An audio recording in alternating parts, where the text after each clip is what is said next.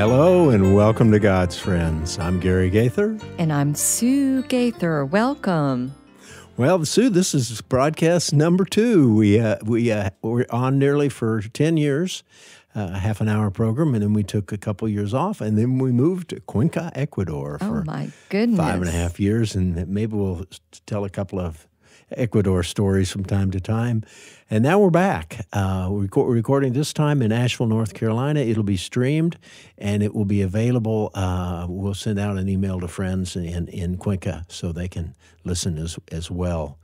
Uh, we're excited. And so uh, maybe uh, we'll start with a little quickie review. Yes, last week or last broadcast, we were talking about what is God's friends uh, because we did air 10 years and we wanted people to understand why we were on the radio and and you shared that and we were casting a vision for our now program. Why are we back on the radio gary? We want to share uh, what god has really taught us in these years that we've lived and uh, especially the last seven years since we've been absent from the radio. And actually a lot of things are not necessarily new but just have grown deeper in our heart, the reality of Christ. And we want to encourage our listener. If ever there was a day that people need to be encouraged, today's the day. And that is the passion of our heart. You know, listener, think about your life seven years ago and what has happened in your life in in the U.S., in in uh, Latin America, in the world, uh, socially, politically, uh, spiritually. It's amazing the acceleration of the rate of change. But one thing never changes: the love of God. And Sue, I love you more than I did seven years ago, and I love my Lord more than I did seven years ago. And this message of intimacy with God, this message that we will quote David and Paul and Peter and, and John and Jeremiah and others, this message uh, has been the same for thousands of years. And it's the message that God loves you with an everlasting love. And with loving kindness, He calls you. Now, sometimes loving kindness may not look like loving kindness, but from God's perspective and, and for us, when we, when we get into that eternal perspective, we will understand sometimes the hand of love seems harsh uh, in certain seasons. But we are here to express the love of God uh, and to be God's friends, as, as Jesus said uh, in John 15 in, in the Last Supper. He said, I no longer call you servants, I call you friends. God's and, friends. Yes. For all it, things the Father has made known to me, I have made known to you. That is still the will of the Savior. He still wants passionately to reveal himself to us.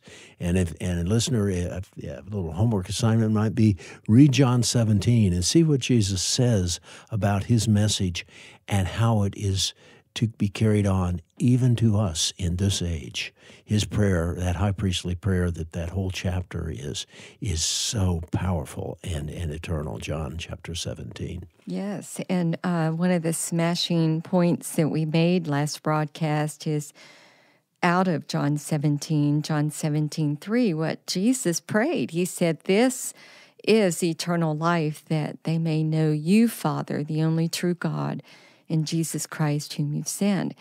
And the other thing you just said about the great love of God that has not changed, the apostles understood his intense love, and even by the Holy Spirit, through them, men of old, the Bible that was put together, the scriptures were given to us. And here's one of those beautiful scriptures found in Ephesians 3. And he said, Paul pen this by the Spirit of God. I pray that according to the riches of his glory, he may grant that you may be strengthened in your inner being with power through his Spirit, and that Christ may dwell in your hearts through faith as you are being rooted and grounded in love. I pray that you may have the power to comprehend, to understand with all the saints what is the breadth and the length and the height and the depth, and to know the love of Christ that surpasses knowledge. And I want to say all knowledge, so that you may be filled with all the fullness of God. Now to him who by the power who, the who is at work within us is able, able to accomplish abundantly far more than all we all put together could ever ask or imagine. And to him be glory in the church and in Christ Jesus to all generations forever and ever. Amen. And then we talked about, you know, what is a God's friend? And I said, well, praise the Lord. It's more than being God's friends, is being a child of God, born of his spirit, washed in his blood through what Christ did for us. And um, we talked about, you know, you, you mentioned how much God passionately loves us, and we proved it by the scriptures um, that in Ephesians 2, he says that God, who is rich in mercy, out of the great love with which he loved us, even when we were dead, through our trespasses and sins, made us alive together with Christ. By grace, you have been saved and raised up with him and seated us with him in the heavenly places in Christ Jesus. And so you we talked about how you know that being a, a child of God and and right now I want to ask that question, okay, how do you become who is a, a child of God through Christ Jesus? And I used to think that it was the difference between being bad or good until I read the Bible, really read the Bible. And God doesn't define it that way. I just read it. The the difference between being a child of God or an unbeliever and a believer is the difference between being dead and alive.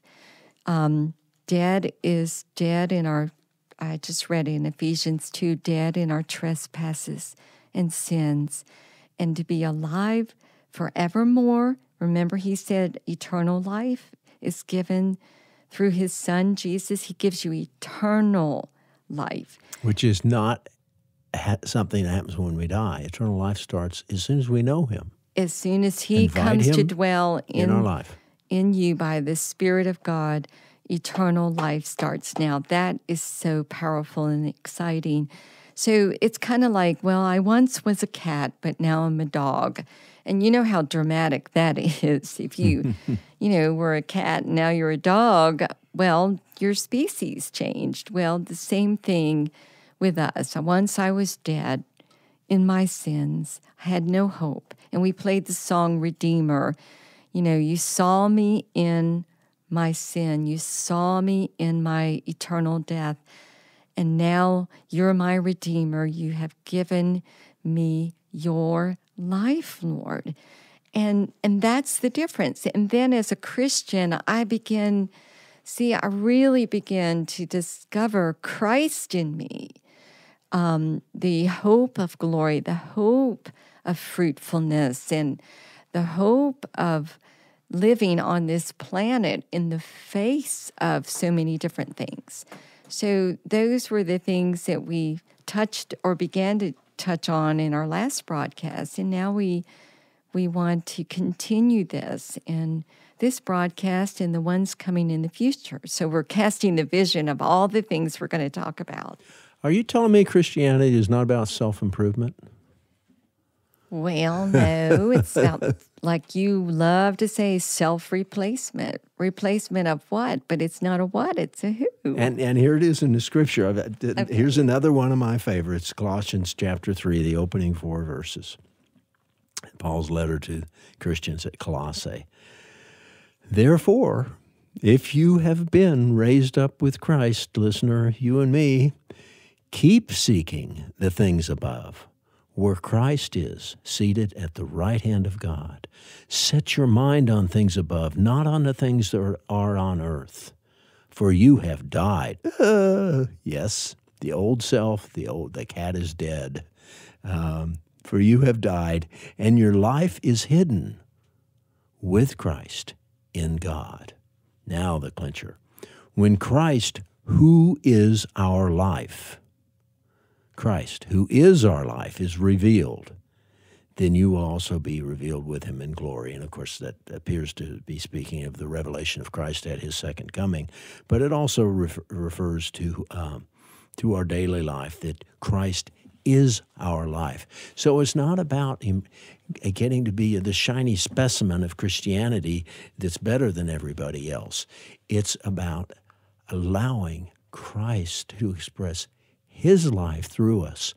Listener, it is not, as often as you may have had this impression, I know I did too, is it is not about you working up a sweat to be a great person. You don't you don't lie and you don't steal and you don't chew or run with girls that do. That's that's not it. It is about a new life. It is about Christ who is our life, expressing his life, which is love, which is peace, which is joy, through us. And I, I know when I have bad days and bad moments, like everybody else, but I can always step back and go, there's a little too much Gary going on and not enough abiding in Christ and allowing his life to come through me. And I know that's a difficult thing to, to grasp. It is it has in a way it has to be a personal revelation as you walk more and more deeply with him. Uh, I know uh, many, if not most, of the listeners have been offended by Christianity, uh, have been offended by perhaps well meaning but uh, immature Christians uh, saying you ought to do this and why haven't you done this, that, and, and you're not a good person and you need to. You need to do what, what I do, and, and that is not Christianity. Christianity is a living relationship with someone who is, who is passionately calling us to enter into a daily, hourly relationship with with a risen Savior who is in love with us. He not only loves us, he's in love with us as individuals. And so often in the busyness of Christianity and all the programs and projects and things we want to do, many of which are wonderful, we, we, we lose that. And we lose that that that that warm, loving relationship that He wants to have with us. You know, when I, I was a, a pastor for a couple of years in Ecuador, uh, uh, I wasn't trained as a seminary pastor, but God called me into pastoral work in the city of Cuenca. And Sue was our worship leader. Uh, and, and I used to say, You don't do things for Christ. You do things from Christ, as you've said, Sue. Uh, we do things from His indwelling person, out of relationship without him, with Him, out of a yieldedness to, to Him. And it's not about me. It's not about me being better. There are some things I struggle with today, listener, that I've been struggling with my entire life. Now, hopefully, it's improved. But my goal is not to be this perfect specimen of Christianity. My goal is to, is to step out of the way and out of that love relationship with the God uh, by His Spirit, express the love of Christ, and that people will see Christ in me. And, and I know those times when, when I really felt like I've had an impact on other people. I always know it wasn't me because I felt the presence and power of the Spirit of God flowing through me. Sometimes when I bring a message, I would get so choked up I could hardly speak because it wasn't me. It was this powerful love flowing, flowing through me from God, from those those people He had He had given us and, and brought together. So, listener, please this is not about performance. This is not performance based Christianity. This is not about building your encyclopedia of knowledge. Yes, it's important to know the Bible. Yes, it's important to read his love letter to us and to understand his program, which is diametrically the opposite of the world's program. And it's Paul wrote in Romans, faith comes by hearing, and hearing by the word of God. That is so important. But at the same time, what's most important is maintaining that relationship.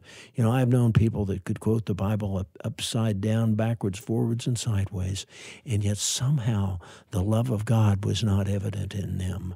Uh, so uh, we, I'm not. Sue and I are not here as as God's friends, speaking to other friends of God to improve you. We're here to draw you into vital relationship, deeper and deeper with Jesus Christ. But we are cheerleaders. We're going to say, I know somebody who can do it in you. And I, I, it says here in Galatians, when you were saying all that, I was thinking about this. Did you receive the Spirit by doing the works of the law? And another way um, you you could put that: Did you receive God's Holy Spirit by something you did, or how well you thought you did good for God, or by believing what you heard. And, and what did they hear? They heard the good news of the gospel of Jesus Christ. What did he do? And it's about what he did and what he's doing in you and me. And he's always doing that. And and that and what he's done, and that's a finished work, which I praise God for. And see, that's something I had to come and grasp and understand. And I just read in Ephesians 3, it says, by the power of the Spirit in you, He will cause you, He will enable you to grasp and comprehend with all the saints the length and the breadth and the height and the depth, and to know this love. But it's more than knowing His love, it's also knowing how to walk in Him and through Him and Him and us and all the things you were saying. So anytime I ever heard something and it just sounded like Greek to me, I could either struggle with it and try to figure it out or do what he said come to me. The Lord says that to us come to me and trust me to unveil it to you. Trust me to work it out in you and where you personally understand what I've done in the cross and what it means to have me, the Lord Jesus, dwelling in you. Yes, little old you, because that's the way I've always felt about myself. I'm not anybody special or grandiose, but I used to say that to God. I said, Lord, it's just little old me. And I've I want to know this for me, for my understanding. Why?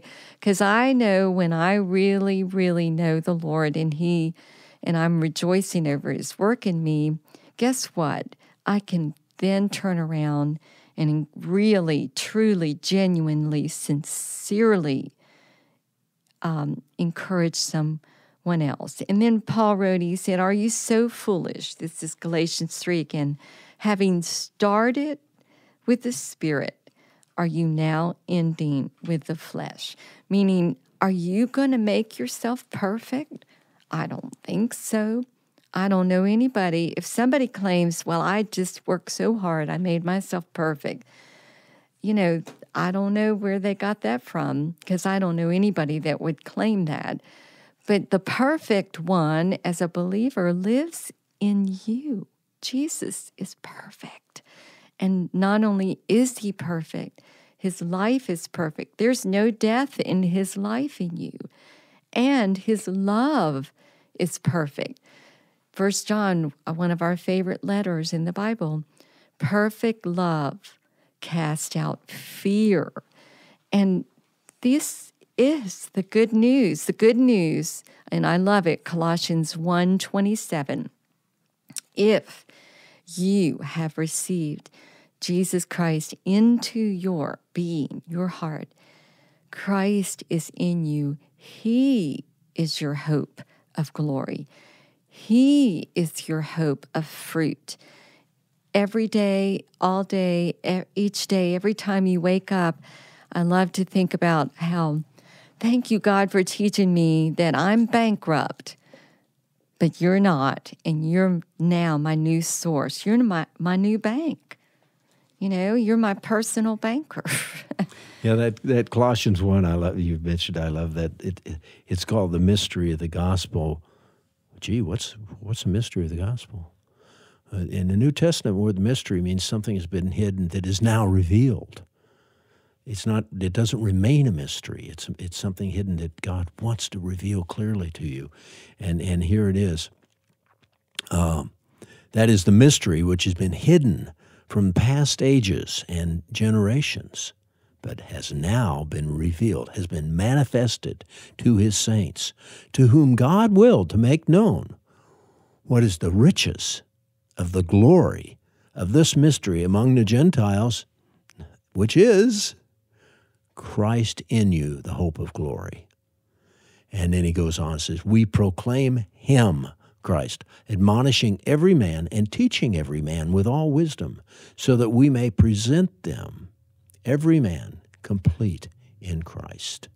And he finally he closes the chapter by saying, For this purpose, purpose also I labor, striving according to his power, which mightily works within me. Whose power? His power. His. The mystery, Christ in us. And uh, we want to emphasize this because so often uh, throughout our, our life and ministry, we meet people that are Christians that are so unhappy. They're, they're, they're frustrated, they're angry, they're mad at themselves because they're not performing better. And I just want to stop and say, what is the mystery of the gospel? It's Christ in you. The Colossians thing, when Christ, who is our life, appears, you know, we'll be like him because he lives in us. So, listener, take heart. It's not about your performance, it's about you're allowing him to perform through you. It's, it's about allowing his love to grow in you. And then out of that, yes, we will become better people. Yeah. But again, that's that's the result. That's not the cause. It's so easy to get those backwards because all of society is, is performance oriented. You've got to do this and you need this, and and the gospel is, is is the opposite of all that the world puts in us or tries to put in us. Uh, uh, I'll give a quote here. I believe this was Martin Luther, and he said, Only Christ can live the Christian life. That means I probably can't, but Christ in me can. That, that is our emphasis as, as God's friends.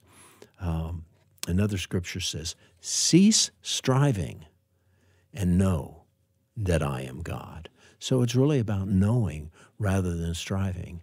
And as we, as we come to know and come to know more than intellectually, but on an experiential basis, uh, we come to know Christ, we come to express Christ. And it's not striving. I find when I get myself in a, in a striving situation, it's me and not Him. Um, the Lord's not, not in a hurry to achieve something in me. He is very much interested in the process uh, each day rather than hurrying to a result. And, and the obedience of Scripture is called the obedience of faith.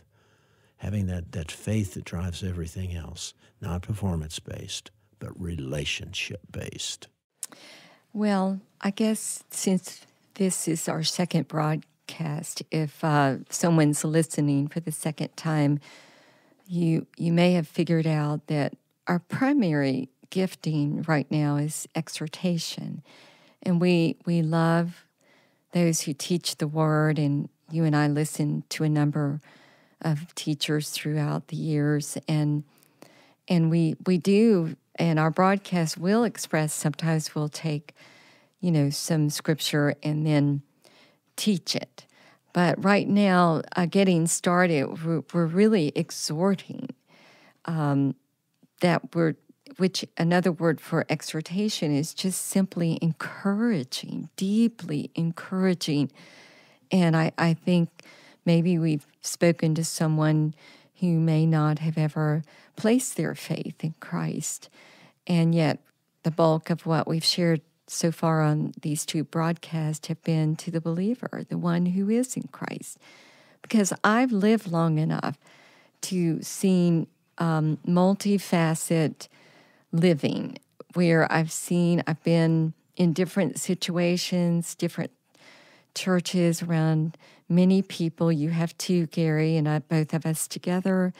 And I understand the problems and the struggles that people go through. And I, I do, uh, we do have an adversary, the devil, and his favorite job or his job description is to kill, to steal, and to destroy.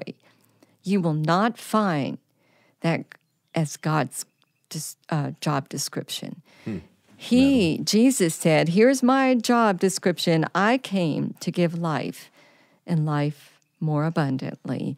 And then you find out through um, after he ascended and he used the apostles to pen the scriptures, uh, the new covenant in his blood, and all of the riches that have happened as a result of his sacrificial death and resurrection on our behalf. All you find is life, life, life, life, good, good, good, fruit, fruit, fruit, eternal life, eternal riches, eternal kindness, eternal mercy. You will not find, I'm here to kill you, I'm here to destroy you. You will not find that in the scriptures. And not only that, but when the Spirit of God comes to dwell in our hearts, praise the Lord. His job description is to persuade the heart of the truth, the truth that sets people free and, and shows us who Christ really is. And, and, and our job as vessels of His is to be that give me a J, give me an E, you know, the cheerleader, the, the, the one that's yelling in the, the, you know, in the balcony of your life. Can you hear us right now? We're, we're cheering you on, child of God, believer, and say, yes, it is God's will for all of us to know Him, to really know Him, and to know His Son and His Spirit dwelling in your heart and my heart. And so we get excited about it. I can't help it because you know. I, I, do want to give our uh, our email. Any of us you would like to email us, you have a question or a comment. Uh, one of our emails is Thriving in Ecuador. That's the name of a book we wrote about Ecuador. But the email is Thriving in Ecuador at gmail.com. Gmail.com. Sue's devotional blog is found at uh, it's spiritears.blogspot.com. Spirit ears with a S at the end of ear uh, dot blogspot.com. I write devotions every week. If you want a little information about Ecuador, this is a travel based blog uh, that, that, we've written, and uh, again, it's a blog spot, which is a which is a, a blog generator, and it is uh, it is the Gaithers that's our last name, the Gaithers, plural, at, uh, excuse me, dot blogspot.com. That's the website for Ecuador Travels. Thank you, Lord, for your presence here today. Give us ears to hear and a heart to respond to your wonderful love. We thank you, Lord, and we worship you. Thank you for joining us today. And if you'd like to contact us for a question, prayer, or whatever, um, please do so at our email address, Gary and Sue Gaither at gmail.com. That's Gary and Sue Gaither at gmail.com. Hey, and thank you for joining us next week on this same station, same time. Gary and Sue Gaither, God's friends.